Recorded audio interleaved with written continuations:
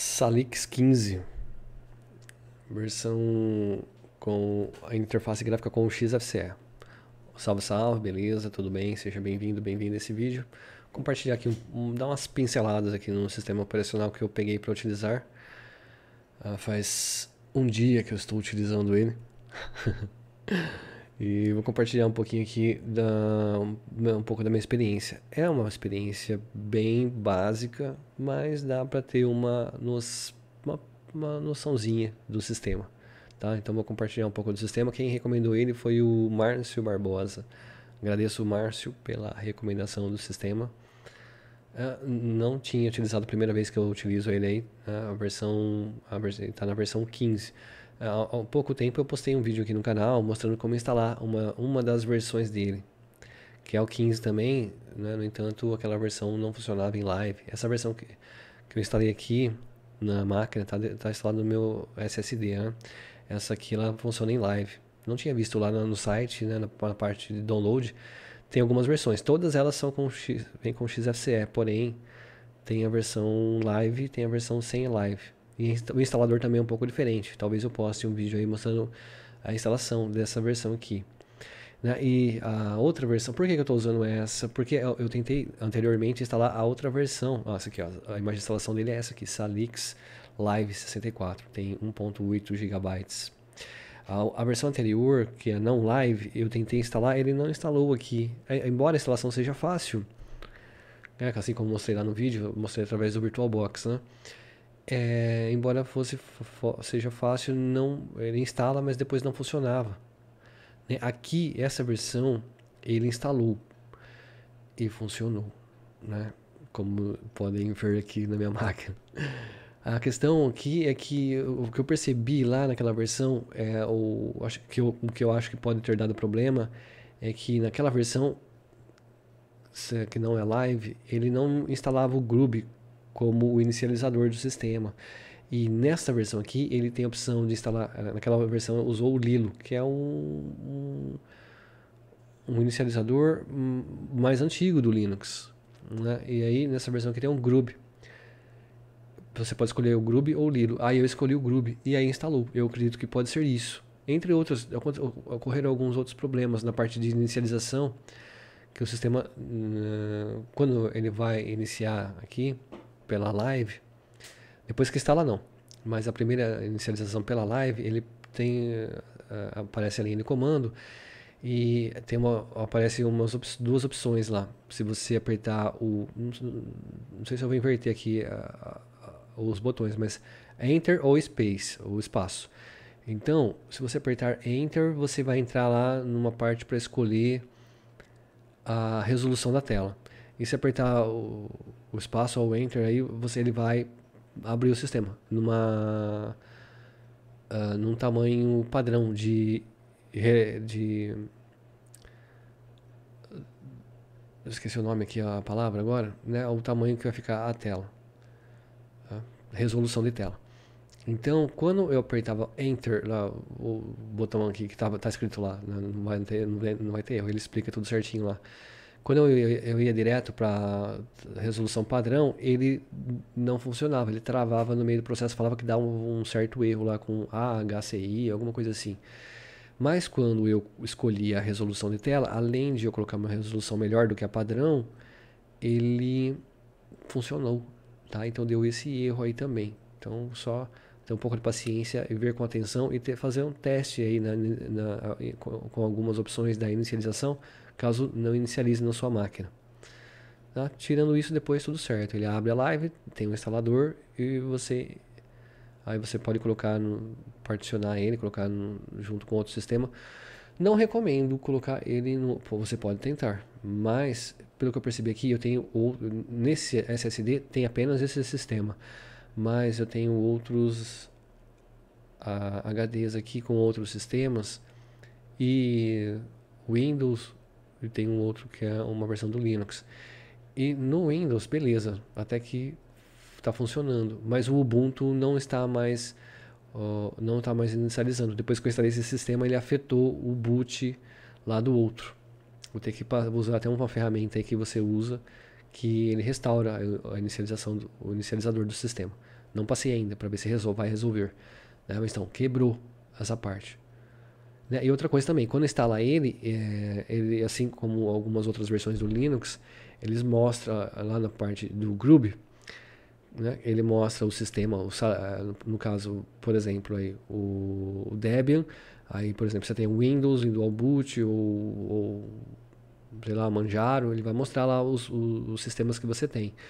Nesse aqui, embora ele instale o Groove, ele não reconhece os outros sistemas, fica somente o Salix. Ele é meio antissocial. Só deixa ele lá. Então, é, tem esse outro detalhe aqui na minha máquina, na minha experiência. Né? Então é isso aqui depois, né, a questão de instalar ele. Mas dá, quando o instalador dele tem o particionador, tudo, você pode colocar uh, junto com outro sistema. Só não sei se ele vai reconhecer depois o sistema na hora de inicializar. Aí que tá o tchan. Tá, então fica a dica em relação a isso. E tá aqui, tá instalado. Né? Interface gráfica XFCE, uh, o sistema bem redondinho. Hum, vou mostrar aqui alguns sites que eu separei. Uh, aqui é o site do Salix. Né? O, eu até eu tinha postado, tinha, ah, apaguei aqui, tinha deixado no Google, no Google Translator, né? Aqui nessa papel de parede aqui ele fala Salix, né? Linux para Linux for Lazy Slacker. Aí eu fui ver né, que, que traduzir o que, que é lazy. Lazy é preguiçoso. E slacker também é preguiçoso. Então é uma, uma preguiça elevada ao quadrado aqui. Uh, talvez, né, não sei. É, slackware, eu fui ver a tradução também, o que é slackware é... Depende do contexto da, da, da, da onde está, né? Mas é, é algo a ver com preguiça também, né? Louça deu, a tradução deu louça, preguiça, louça preguiçosa, ah, sei lá, algo assim. Então não faz muito sentido. Depende do contexto, então, aí, para tradução. Então, é, por que, que ele coloca isso? Porque o Slackware é um sistema que vai dar trabalho para a pessoa, né? Então, se a pessoa for preguiçosa, ela vai... Não é porque quem não usa Slackware é preguiçoso? Não é isso também, né? Mas a questão é a seguinte, é que o Sanix é uma versão facilitada dele. Não sei se é nesse contexto que, que coloca aqui o lazy, né? Slacker de preguiça. É, então, pode ser que eu esteja enganado. Eu estou pegando aqui algo, o que eu estou entendendo. Enfim, né, o sistema tudo tem o nome, tem todo o sentido aí para o significado do porque o sistema é assim. Mas é, seria um sistema mais facilitado para quem usa Slackware, porque o Slackware, para quem, principalmente para quem é iniciante, é, vai, uh, vai ter um pouco de trabalho até aprender a instalar os programas, começando para instalar o sistema, que já não é tão simples dependendo do instalador que você pega. Depois é, gerenciar pacotes, né, instalação deles, os programas tem outra pegada aí, não é, não é tão fácil como outras, como os sistemas aí mais conhecidos como Debian, Linux Mint, Manjaro, Big Linux, ah, BROS, entre outros aí, o Amarok, mas essa infinidade de sistemas que são mais facilitados. Ele não tem essa pegada. Então o Salix ele vem aí, seria uma versão facilitada do Slackware.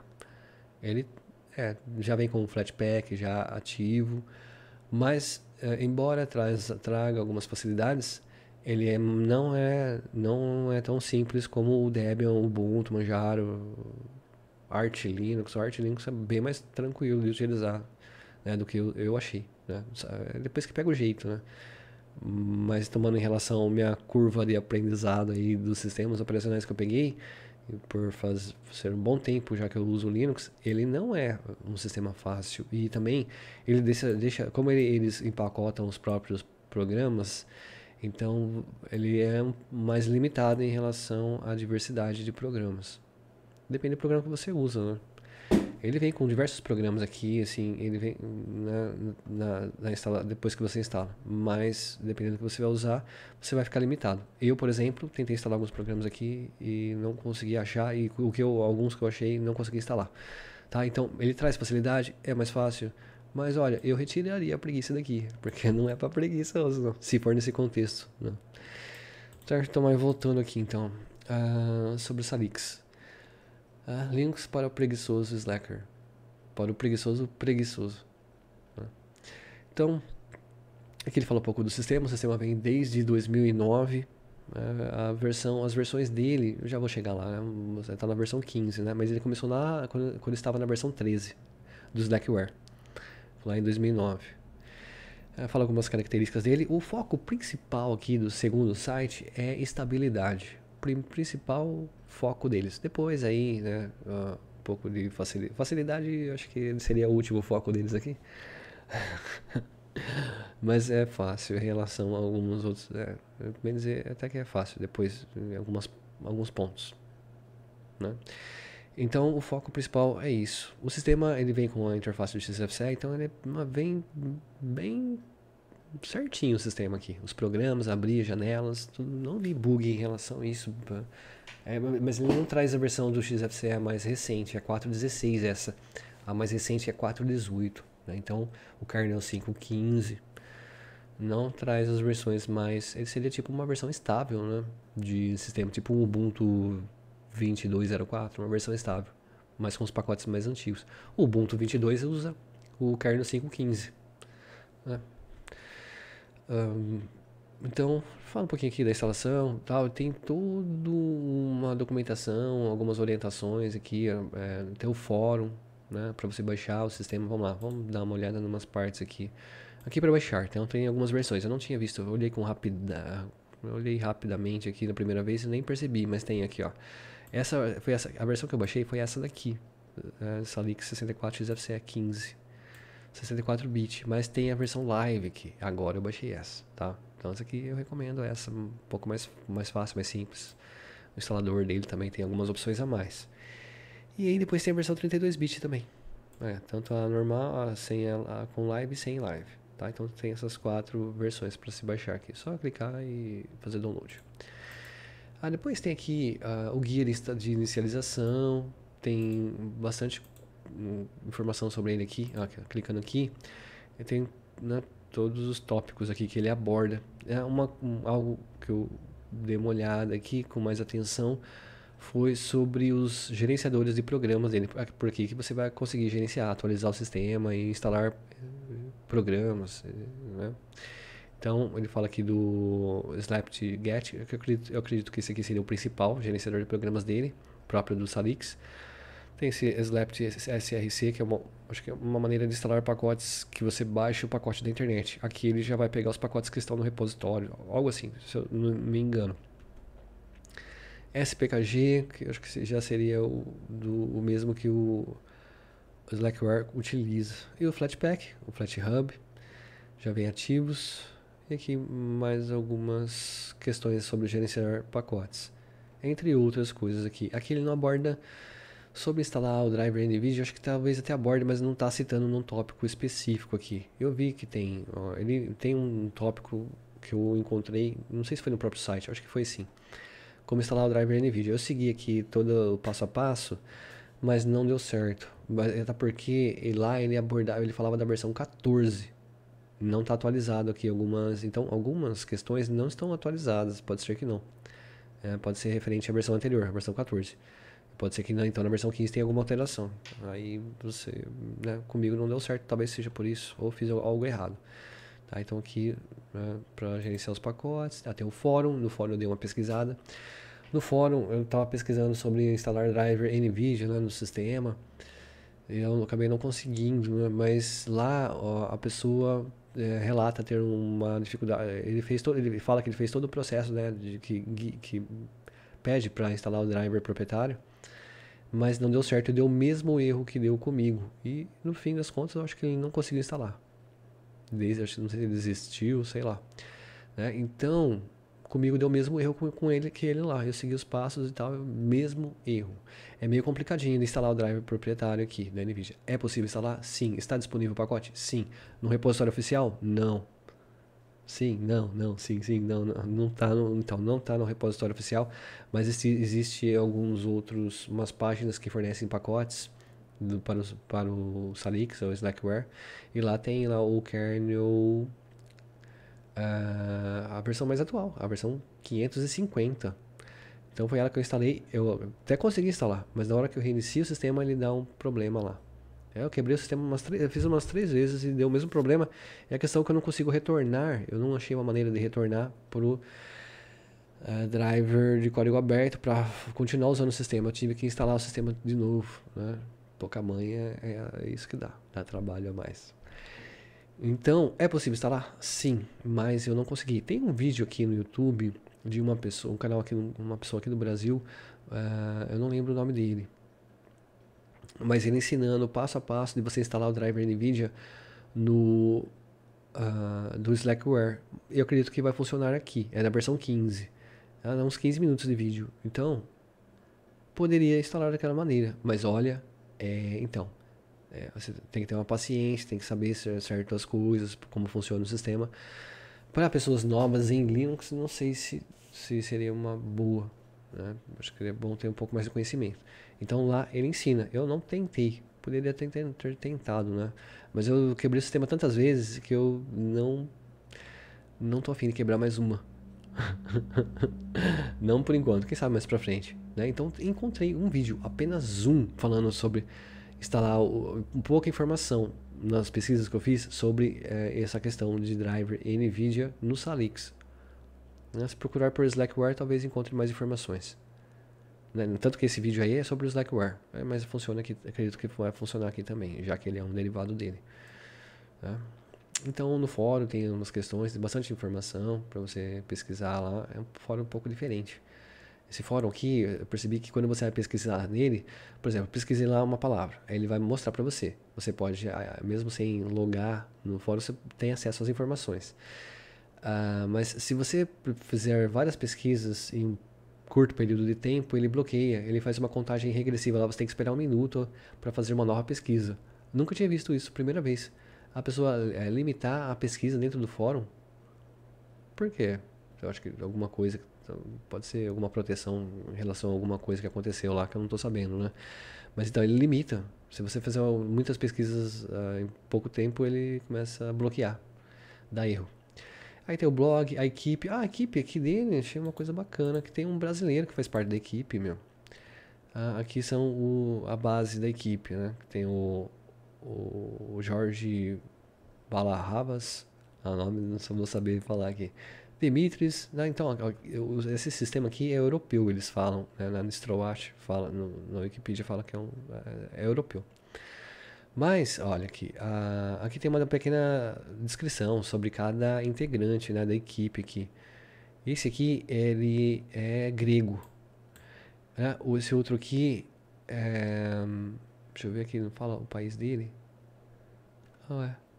Locar, location, aqui ó, Agrinion, é, Grécia, é grego e não sei que esse país que é esse aqui não. Depois tem outro aqui, que é Estados Unidos. E esse outro aqui é o Team Beach. Né? O nome não é brasileiro, né? deve ser um apelido, não sei. Mas ele é ah, Brasil. Brasil. Ah, tem até a data de nascimento, alguns. Uh, uh, algumas descrições aí da pessoa os idiomas que ela fala.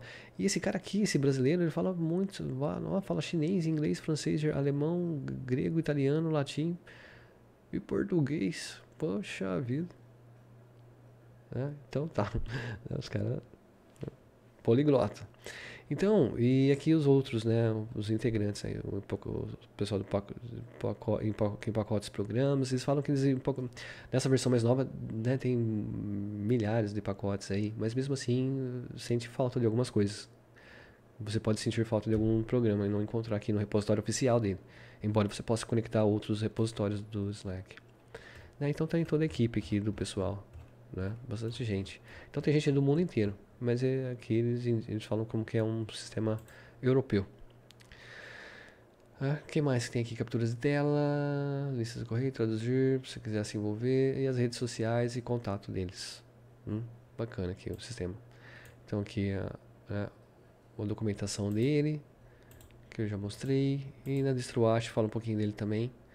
A Salix é um sistema baseado no Slackware, a origem é Europa, tem arquitetura 32, 64 bit a interface XFCE a partir da versão 15, que é apenas o XFCE, mas anteriormente, não sei se a versão 14 ou a anterior a 14, tinha diversas interfaces gráficas. Aí eles né, deixaram apenas XFCE.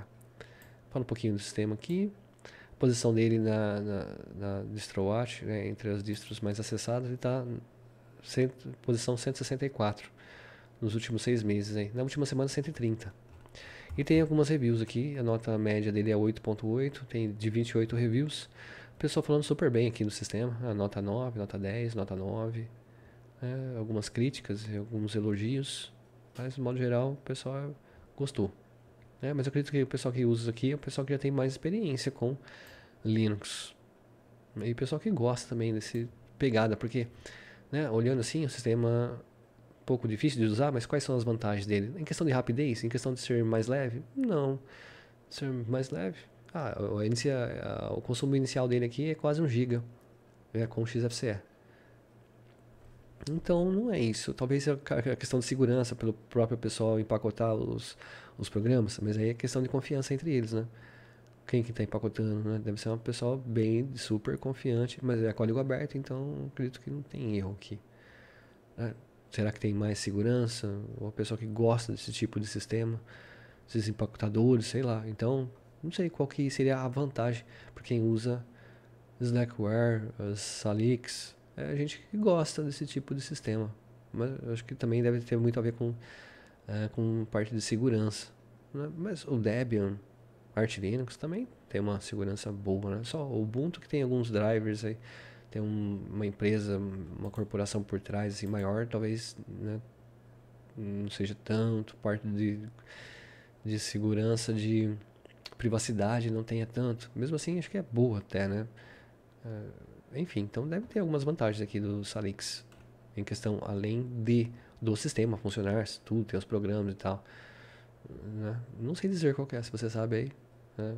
Se quiser compartilhar, fala aí que, quais são as vantagens e os diferenciais maiores que levam uma pessoa a utilizar sistemas mais, um pouco mais difíceis, sendo que hoje em dia tem sistemas mais fáceis, com mais pacotes disponíveis e tal.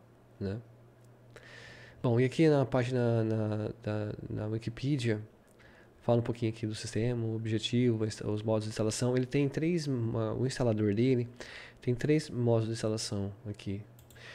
Uh, tem o modo Core, o básico, né, Basic e o Full.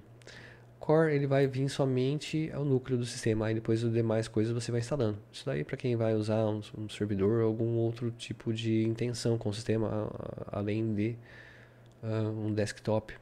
Então a pessoa pode instalar tudo aí da maneira que ela quiser, pode configurar, personalizar da maneira. Né? Isso aí já é para usuários mais avançados. A versão básica, a instalação básica, ele vai vir alguns pouquíssimos programas. A interface gráfica mais um navegador, alguma outra programinha. E na versão full, aí já vem um programa para cada tarefa. Né? Tanto que uma das, uma das descrições dele aqui é que ele traz somente um programa para cada tarefa. Não traz redundância, tipo mais de um programa para editar texto. Não, somente um. Meu programa para ouvir áudio, somente um. Para ouvir vídeo, para ver vídeo, somente um. E aí por aí vai. Tá? Então é isso para não trazer muitos programas, deixar um, sistema mais enxuto. Aí os gerenciadores de pacote e tal, live, versão live. A, versão live acho que é a partir da versão 15, não tinha versão live, pelo que eu me lembro aqui. Né? Falar ah, o ano que ele começou e tal. É, aqui, ó, as versões que saíram. A primeira versão foi em 2009. Então, é, 2003, é, a versão 13 de 2009. Aí foram saindo, né, ó, outras versões. Versão 13 0.1, 2009, 2009, 2009 saíram 3. 2010 saíram diversas, aí. Depois, nossa, um monte aqui em 2010. É, mas, mas na verdade é tudo versão 13, só que algumas atualizações, né? 2011, 2011, mudar para a versão 14 foi mudar em 2012. E depois para a versão 15 foi mudar somente em 2022. 10 anos depois. Demorou, né? Da 14 para 15. Ficou bastante tempo. No entanto, teve, tiveram as atualizações aqui, né? Ó, pode ver que aqui ele tinha até outras interfaces, ó. Openbox, Fluxbox, etc. Na versão 14 ainda tinha outras interfaces. Né? Aqui já na versão 15 somente XFCE. Ok, então dá uma geral aqui do sistema também. E aqui, bom, aqui é um site que eu deixei do Vivo Linux, no fórum também aqui do Brasil. Aqui eu estava querendo instalar o, o driver proprietário NVIDIA. E aqui ele, esse tópico é de 2015. Mas algumas coisas funcionaram e me orientaram aqui durante para resolver algumas questões na hora de instalar. né? mas lá no fórum do Salix mostra e, e também mostra o link lá para você acompanhar a, a, a, maneira que o próprio pessoal do sistema orienta que você instale, mas lá não estava funcionando. Uh, aqui talvez explique alguns detalhes que a pessoa pode não ter uh, entendido. Uh, então aqui eu segui os passos, né? Lógico que alguns comandos aqui não não funcionam, né? Que ele estava falando para instalar o kernel 3.10 né, na época. Uh, então alguns pacotes hum, você talvez você não ache no repositório.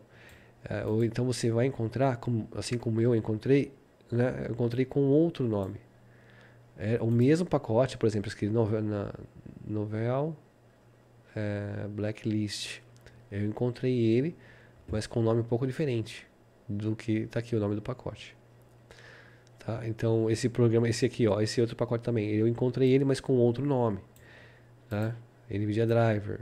Encontrei, acho que esse aqui estava com esse mesmo nome, NVIDIA Kernel. Então, então para você instalar o driver NVIDIA aqui, você tem que fazer uma alteração no kernel.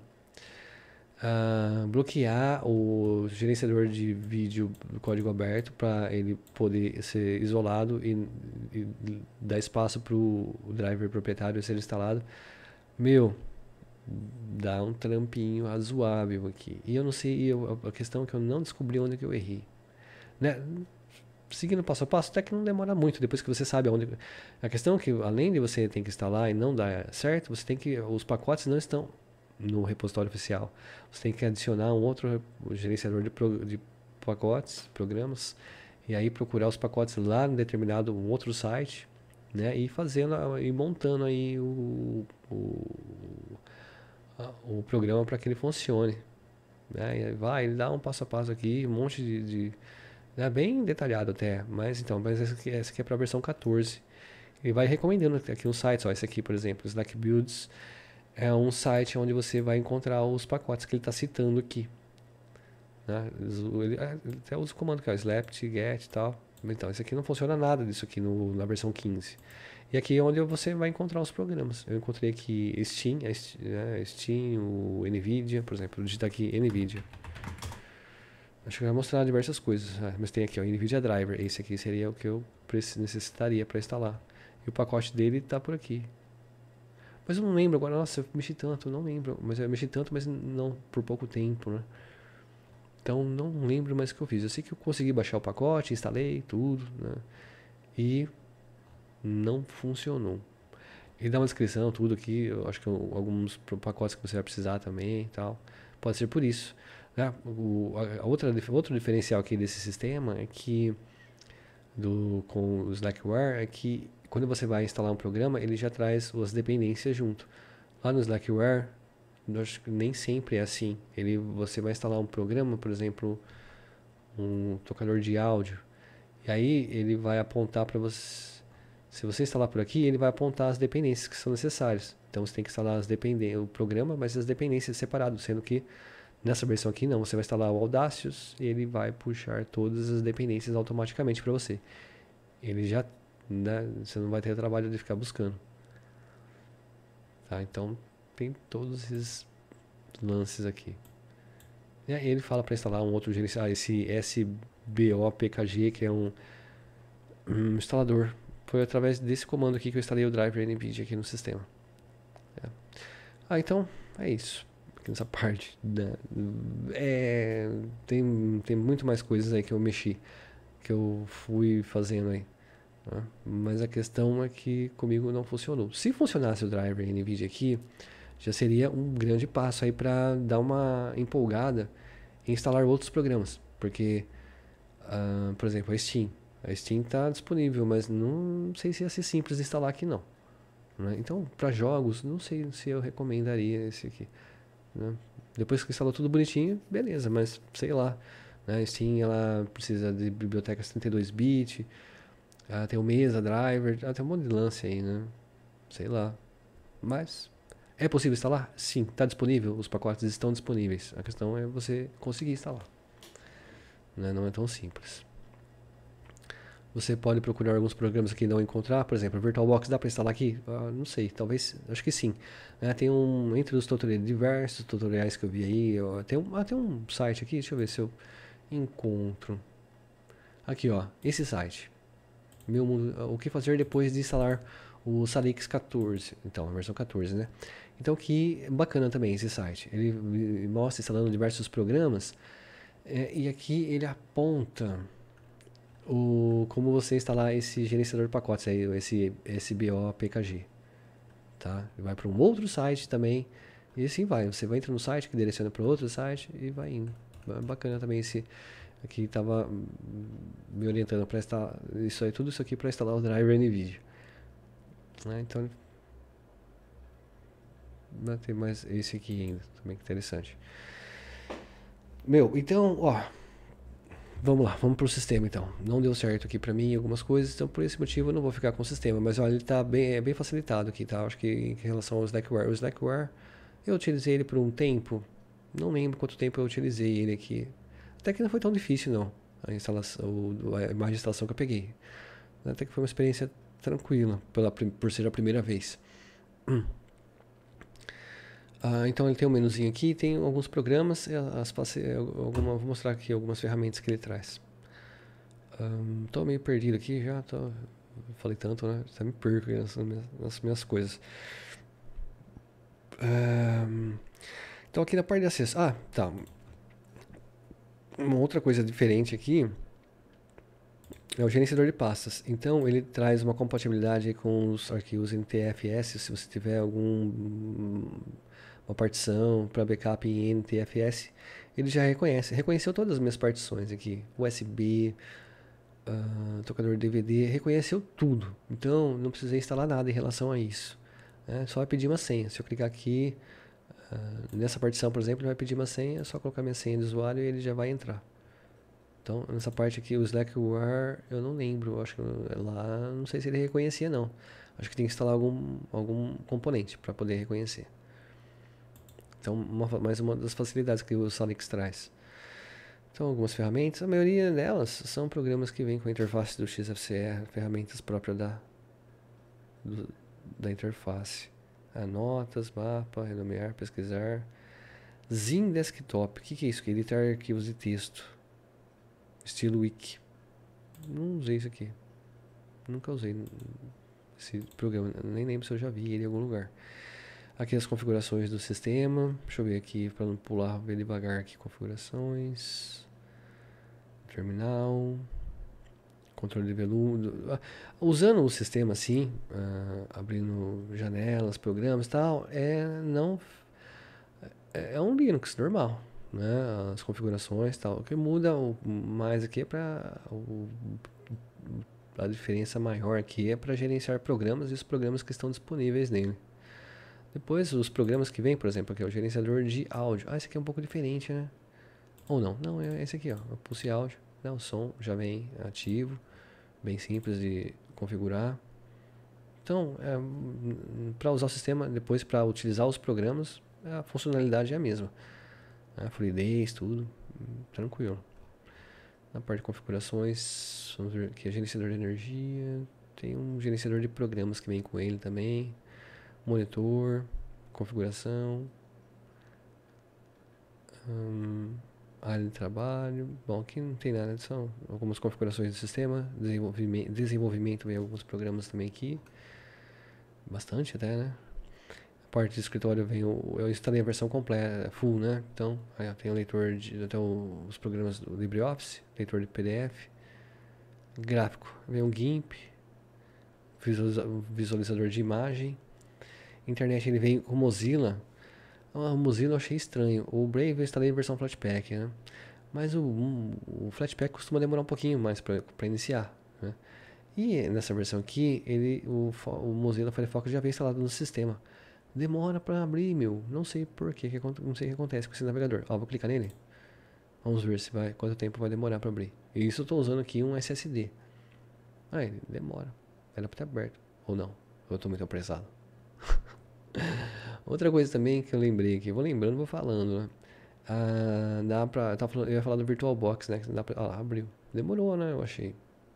Sim, por ser SSD. Ah, o VirtualBox, por exemplo, é um dos programas que não estão no repositório oficial dele.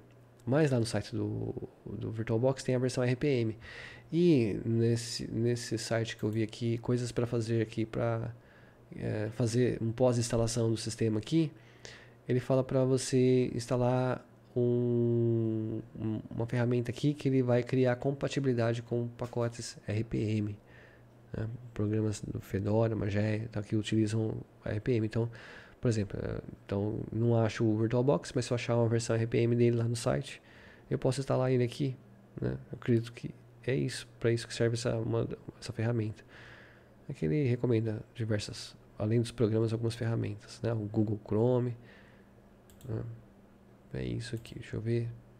Voltando aqui para a parte do escritório, gráfico da internet. Então instalei o navegador, né? Funcionando muito bem aqui, Flatpak. O Brave costumava, costumava dar uns, uns bugs aí. Essa versão aqui no Flatpak tá joinha. Uh, multimídia, vai, um, acho que é para gravar CD. Eu instalei esse tocador de áudio aqui. Ah, o Audacious. Ah, ele tá. É, nessa versão aqui vem até com uns temas diferentes aí, ó. Tema verde meio militar, mas tem uh, alguns temas que não costuma ver nas distros Debian, Arch Linux tal, quando você instala. São aqueles temas, é, alguns 5, 6 temas, né? Padrões. E aqui no Linux eles adicionaram mais temas. Entre eles está esse militar. Eu deixei, combinou com a, a área de trabalho. Tá um sistema meio militar, né? Cor exército. E vamos lá, continuando aqui então. É, parte de multimídia. Ele vem com esse programa. Esse aqui é um tocador de áudio, Exile. Uh, ISO Master para criar imagem ISO, abrir, modificar. Instalar codecs. Esse aqui, quando você clica nele, ele vai pedir sua senha de usuário. É tipo quem. Qual? Eu acho que é o Linux Mint que tem algo assim, né? Que você é um, uma opção que quando você abre ele vai instalar. Eu acho que o Ubuntu também tem, não lembro agora. Que ele vai instalar. Ele pergunta se você quer instalar todos os codecs de multimídia. Ele instala um monte de coisas para ter compatibilidade com CD, DVD, uh, extensões de áudio e vídeo. Então vai instalar uma pá de coisas. É uma facilidade. E depois que ele instala, ele pergunta se você quer. Ó, vou colocar próximo. Aí, ó, ele já conecta ao servidor e vai instalar. Eu, eu já instalei, tá? Estou instalando de novo, mas não precisava. É, depois que ele instala, ele pergunta se você quer remover esse instalador dele aqui, né? Não precisava estar tá aqui. Eu, eu, eu, coloquei para não remover. Deixa, só para mostrar aí como que era, né? Mas na hora que terminar ele vai perguntar se eu quero remover. Aí ele sai daqui da lista, como não vai ser mais necessário, já que está instalado, né? Uma coisa que eu fiquei surpreso aqui é que o OBS Studio, né? Estou usando ele para gravar aqui esse vídeo. Ele está no repositório oficial do sistema. Então eu cliquei lá, instalei, funcionou, que todos os pacotes foram instalados. Agora ele não perguntou se eu queria tirar ele. Ah, só na primeira vez ele pergunta? É, então, tem, deve ter, bom, então na segunda vez ele não te dá uma segunda chance de remover ele daqui. É, então o OBS Studio instalei aqui no repositório oficial do sistema. Esse aqui é o PulseFX. Ah, o Flatpak. Meu, Flatpak. Flatpak foi de boa até, né? O Brave, não, a princípio não. Eu instalei o Brave e esse dois Flatpaks aqui, né? dois, é, dois programas Flatpak. Flatpak list. É, e tem alguns recursos que. Ah, tem o Mesa Driver, tá? Ah, então, tem alguns outros recursos que ele instalou junto, né? Que são necessários aí para instalar o Flatpak. Então eu instalei o, o Brave. Ele inicialmente não funcionava. Quando eu abria o programa, ele dava um aviso que estava dando um erro lá tal. Então, se acontecer com você, você vai usar o Salix aí. Se acontecer com você, você ele vai nesse aviso que ele vai dar, ele vai mostrar esse comando aqui, olha. Chmod us barra usr, etc. Então, uh, ele vai mostrar diversos comandos lá, mas eu, eu como eu quebrei o sistema umas 3, 4 vezes, eu tive que refazer e acabei descobrindo que é, para eu solucionar aqui para os Flatpaks passarem, eh, embora instalados, não funcionassem, eu coloquei, eu digitei esse comando no terminal como root, como administrador. E aí reiniciei o sistema, eh, os Flatpaks passaram a funcionar. Então já tá dando embora venha instalado e instale os programas, eles não funcionam. Né? Eu achava que era só instalar e reiniciar o sistema. Né? Sabe, tá nesse sistema aqui, usando o Flatpak, dá, tá, tá, tô lembrando quando, logo que saiu o Flatpak, ele dava uns, pro, uns problemas. Então tá lembrando logo o princípio do, do Flatpak. Né? Hoje em dia é difícil, dá, você instala o Flatpak, o FlatHub e já instala e boa. Às vezes você, a primeira vez você tem que reiniciar o sistema, só e boa. Mas aqui não, aqui, então estava dando esse erro, esse aviso, E aí, eu, na, na tentativa e erro aqui, eu coloquei esse comando como root, ele funcionou e reiniciei o sistema e os Flatpaks estão funcionando. No entanto, o programa aqui, olha, uh, esse aqui, o Pulse Effects, o equalizador, está funcionando certinho agora. Mas ele, quando eu instalei ele, ele abriu uma vez, depois na segunda vez não abriu e parou de abrir. Aí eu desinstalei ele e instalei de novo. Aí eu acho que aí, aí reiniciei o sistema, aí ele passou a funcionar novamente. Agora está funcionando certinho. Então é, são erros que davam logo o que acontecia comigo logo que saiu o Flatpak. Tá acontecendo aqui. Agora parece que firmou, né? Tá, tá estabilizou aqui. Na parte de multimídia, então, VLC, VLC acabei de instalar aqui o Parole, tocador de áudio vídeo. Legal esse aqui para quem assiste vídeo com legendas, com legendas com vários idiomas. Aí, ó, recomendo esse aqui. Assistir um vídeo esses hoje eu vi que assim que você abre o vídeo ele já mostra as opções de uh, se você quer que a legenda fique a legenda fique aparecendo ou não, né, o idioma da dublagem, o original, etc. Tem umas não sabia disso né, no Parole. Mas uma coisa estranha aconteceu também. Ah, quanta coisa. o, quando eu fui tocar, testar um vídeo aqui, o Parole abriu o vídeo em pouca tela pequena. Não abria. Embora a tela estendida, ele mostrava a imagem pequena no vídeo. E abrindo no VLC, a tela expande, pega toda a tela. Mas depende do vídeo, depende da extensão, acho. Né? Porque num outro vídeo que eu assisti, o Parole funcionou normal. Enfim, então, mais algumas outras ferramentas aqui. Jack áudio, programa para gravar DVD também. Acho que é uma para gravar DVD, outro para CD. Tem um, algumas ferramentas aqui. O programa para máquina virtual, eu instalei esse aqui, que é o Virtual Manager. E é isso, na parte de sistema, configurações, esse aqui, administrar arquivos de configuração do sistema. Não sei o que, que é isso, vamos abrir aqui. Nossa, começou a me dar uma leseira agora. Parece que eu tomei um um Rivotril. Bom, isso aqui não sei para que serve, hein? Não sei para que serve isso aqui não. Uh, sistema, vamos lá, continuando aqui. Note espelho repositório. Aqui você acho que vai poder. Ser, eu não troquei, tá? Eu já vi, eu vi algumas pessoas falando que o repositório dele, na hora de baixar programas e atualizar, é meio lento. Eu achei que tá rápido aqui. Tá? Ah, tá, eu tô usando essa, essa, esse servidor aqui, mas você pode trocar. Não tem do Brasil aqui. Outra coisa, na instalação também, logo, né, que ele vai, logo que ele inicializa, acho que antes de. Uma das, das, das, primeiras opções aqui, quando você entra, abre live, ele disponibiliza alguns idiomas. E tá lá, entre eles tem o Brasil. Tá? Então, uma facilidade para quem gosta, que é o idioma português do Brasil. Portugal também, tem Portugal e o Brasil, entre outros idiomas.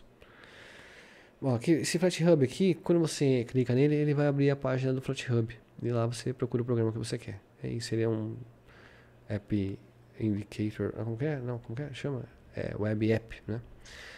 Ah, ferramentas do sistema. Aqui o gerenciador de pacotes G-Slapt.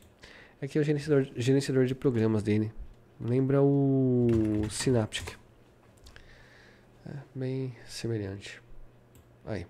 Assim que você abre, se você não quiser usar o terminal, né? Tem os comandos que você utiliza no terminal. Né, os comandos você encontra todos eles naquela página que eu mostrei aqui, né, na parte de uh, documento, lá, gerenciador de pacotes, ele mostra os comandos né, de cada gerenciador de pacotes. Mas assim que você abre ele aqui a primeira vez, uh, ele não vai encontrar nada aqui. Você tem que vir aqui em renovar, né, atualizar. Aí ele vai atualizar a lista de servidores. Aí depois sim, você marca aqui, marcar todos os atualizáveis. Ele atualizou em torno de 500 MB aqui, no, no, depois que eu instalei o sistema. E aqui você pode procurar o, o programa que você quer. Por exemplo, eu procurei aqui OBS. Uh, ah, deixa eu colocar aqui um S na frente. Aqui, ó. Vem aqui, cliquei com o botão direito do mouse, colocar, clicar em instalar. Aí você clica aqui em executar e ele vai instalar para você. Aí dá até uma descrição aqui, a versão... Nossa, versão 27. É, acho que é... Não é das mais novas, né? Está na versão 29, 30. Eu não, não, não lembro agora. Bom, enfim, então aqui você pode procurar programas nele né? Não, talvez você não encontre todos que você quer. Né? Vai ficar um pouco limitado aí, mas é bem simples instalar programas por aqui. é, já que ele facilita trazendo as dependências. Então você instalou, o programa já é para funcionar. O que mais aqui? Gerenciador de pacotes, o gerenciador de pastas dele é o Tunar, aí, já vem com esse, é o tema padrão que vem com ele, deixei assim.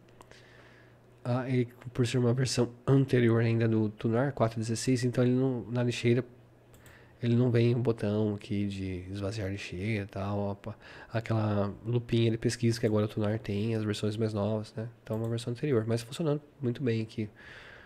Um gerenciador de pastas.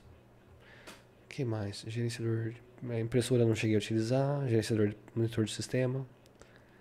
Gestor de inicialização GUIF, um ambiente gráfico para EFI. Ah, acho que aqui para quem usa o sistema em UFI, né? Deixa eu ver. Tô até esquecendo a minha senha aqui. Ah, tá. Eu não estou usando o FI, eu, eu instalei em Legacy. Ah, para gerenciar aqui o boot do sistema, talvez seja isso. Hostname, htop, é, idioma do sistema, live USB instalador, é para criar imagem de instalação, acredito. Navegador, tal, reconstruir cache de ícones, relógio do sistema, renomear massa. E essas são as ferramentas do sistema. Beleza? Eu tirei um print aqui, né? Ou, hoje, não lembro que dia que eu tirei. 27 de março, é, foi hoje de manhã. Uh, aqui fala um pouco do sistema Salix, versão 15, 64 bits. Carno 515. Uh, número de pacotes 927, bem pouco, né? 927 pacotes. E aqui o Flatpak 10, que na verdade eu instalei dois programas, o navegador e o equalizador. Interface XFCE, gerenciador de tela, de, de, janelas dele aqui, o XFWM4, Salix, é, o tema de ícones e tal, e o consumo inicial de memória RAM, 975 MB. Não é tão levinho, mas é super rápido. É leve, o que, que é leve, né? Hum, é que o XFCE já eu já vi versões bem mais leves que essa. Né? E é isso. Sistema bacana. É para quem gosta, para quem não, é para quem é preguiçoso, para quem é menos preguiçoso, né? Devia ser o contrário. Isso aqui é um programa, sistema para não preguiçosos. Né? Mas enfim, então agradeço novamente aí o Márcio Barbosa pela recomendação do sistema, sistema bacana, né? Para quem quer estudar, aprender quebrar a cabeça. É um sistema bacana. Aquelas planos de fundo que vieram com ele são diferentes. Né? Tem uns pinguins. Ah, pinguim. Quadro dos pinguins aqui lá no, lá no Polo Norte, Polo Sul, não sei. Então tem outros aqui, bem coloridos. É um mapa mundi com os pinguins. Entre outros aqui. Esse aqui é. Nossa, esse aqui ele doeu o olho, hein? Ave Maria. Tem esse outro que é vermelho. E o que eu tava usando, acho que era esse. Hum, deixa eu ver. A logomarca dele é uma folha, né? Ah, um. É, não sei se tem a ver com bons, bonsai, bonsai, né? Que é aquela plantinha pequena. Ele fala que o. dá apelido o sistema aqui de bonsai, que é um pequeno como aquela planta, né? Bonsai. Algo assim. Bom, enfim, é tanta informação que né, não guardei tudo aqui. Mas qual que eu tava usando aqui? Ah, tá aqui, esse aqui. Aí, fazer as, ah, eu não mostrei aqui, né? Tem as configurações, central de configuração do sistema, as ferramentas. Acho, acho que é, são as a padrão aí do XFCE. Não tem assim uma ferramenta, alguma ferramenta adicional do, do Salix. São as configurações padrões aí. Mas os efeitos de tela aqui funcionam muito bem. Não é aquele sistema tão simples assim. Né? Se colocar a tela para cá, ele vai pegar 50% da tela, dá um efeito de transparência e tal. Né? As telas área de trabalho, ele vem com quatro configurado aqui, entre outras coisas. Então, filé, o sistema funcionando redondinho. O desafio aqui é você aprender, é, é, eu aprender a instalar programas, né? E deixar tudo funcionando certinho. Esse é o grande desafio desse sistema. Aí vai né, de cada um. E a, então a questão é as vantagens. Qual que é a vantagem de usar um sistema que é mais difícil? Eu acho que é mais questão de privacidade e segurança, né? Seriam as maiores vantagens aí. E também que funciona essas máquinas mais antigas, né? Dizem que ele é mais, por ser mais leve, né? Tem muito menos pacotes. Você vê lá, 927 pacotes eu tenho instalado aqui, ainda que eu já instalei alguns programas. Hum, talvez seja isso. Valeu? Então, vou encerrando o vídeo por aqui. Até uma próxima. Eu tô quase. Meu, parece que eu tomei um Rivotril eh, daqueles de 50, de 500 miligramas. Cara, eu não tomo Rivotril, né? Não tomo calmante. Mas já tomei já numa época remota. Nem fez cosca, mas acho que depende é com a dose, né? Então, mas parece que eu tomei. Caraca, meu, eu tô chapado, velho. Oi? Tô quase dormindo, tomar um Red Bull. Aí dá efeito contrário. Agora de dormir agora, né? Mas tá certo. Então, fica na paz aí. Até uma próxima. E talvez eu poste um vídeo aí mostrando como instalar essa versão live. Bem tranquilo. Valeu. ciao ciao.